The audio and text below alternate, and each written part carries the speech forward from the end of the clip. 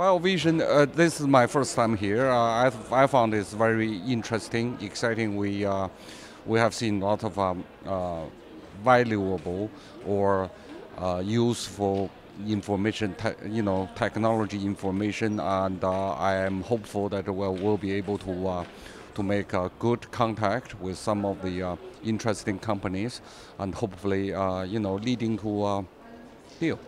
I'm here to make deals to bring some technology to China. We have capital. We believe we have capital, but we what we, we what we need is innovation.